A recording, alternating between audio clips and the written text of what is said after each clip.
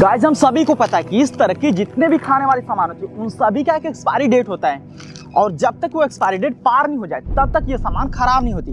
क्योंकि इनके पैकेट में नाइट्रोजन गैस भरा होता है, जो कि जब तक हवा के कांटेक्ट में नहीं आता, तब तक ये सामान को खराब होने ही नहीं देता। तो आज भी हमारे पास इसी टाइप के कुछ और भी सामान है, जिनको हम लोग सौ दिनों के लिए ज़मीन के अंदर रखने वाले हैं। और देखने वाले कि क्या होता है उन सभी सामान के साथ। सौ दिनों के बाद क्या वो सारे सामान खाने लायक रहते हैं या फिर नहीं, या फिर उन सारे सामान के साथ क्या होता है। तो गाइज़ ये रहे हमारे पास वो सारे सामान जिनको हम आज से सौ दिनों के लिए ज़मीन के अंदर डालने वाले हैं। तो यहाँ पर देखिए, जितने भी सामान है, वो सारे पैक हैं। मतलब खुला नहीं इनका पैकेट।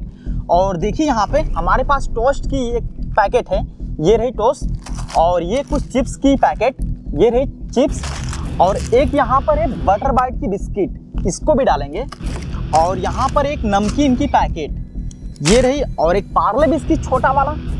और ये रहा एक पैकेट नमक तो गाइस नमक भी डालेंगे क्योंकि हो सकता है कि ये गल जाए मतलब ज़मीन के अंदर ही, लेकिन फिर भी देखना हमारा काम है तो इसको भी डालेंगे ज़मीन के अंदर।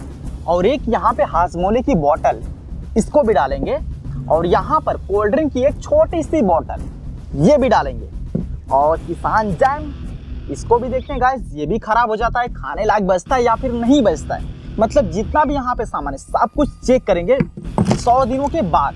तो ये रही किसान जैम, और यहाँ पर एक हमारे पास मैंगो की स्लाइस ये रही।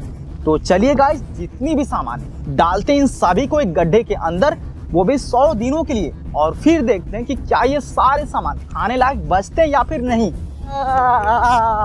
तो चलो गाइस सबसे पहले गड्ढा खोद लेते हैं उसके बाद आपसे मिलते हैं।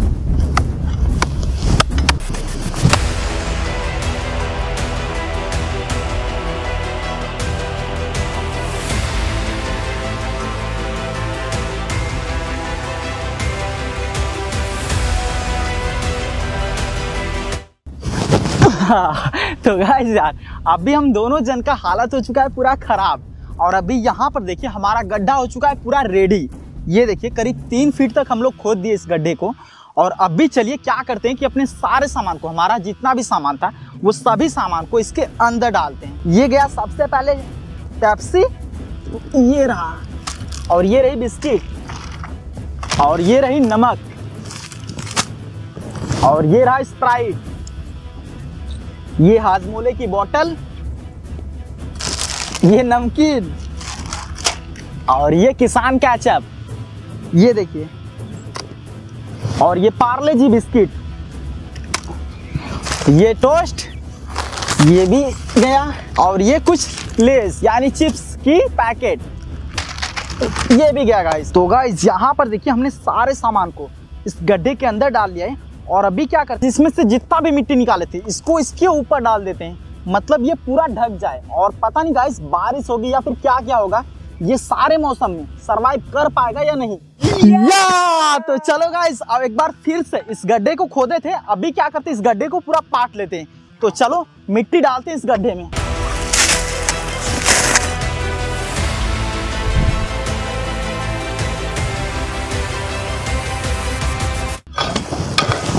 तो गाइस अब भी हमारा सारा चीज़ कंप्लीट हो गया यहाँ पे। जितनी भी सारी सामान थी, सबको इस ज़मीन के अंदर डाल दिया करीब तीन फीट अंदर। और अभी गाइस हो सकता है कि बारिश का मौसम आ रहा है, यहाँ पे ऐसा लग रहा है। तो चलिए देखते हैं, अभी बारिश होगी तो उसका भी पानी अंदर जाएगा, हो सकता है। तो पता नहीं वो सारे सामान नमी की वजह से खराब होगी, या फिर ज़मीन के अंदर जो गर्मी होती है, उसकी वजह से। या फिर हो सकता है कि सारे सामान बच भी जाए। तो चलिए गाइज़ अगर आपको देखना हो, जानना हो कि क्या वो सारे सामान बचेंगे तो आप प्लीज़ हमारे चैनल को सब्सक्राइब भी कर लीजिए, जो कि सौ दिनों बाद इसका पार्ट टू आने वाला है। तो अगर आपको अच्छा लगा हो ये वीडियो तो प्लीज़ लाइक करिए, चैनल को सब्सक्राइब करिए। मिलते हैं कल किसी और नए वीडियो के साथ। तब तक के लिए बाय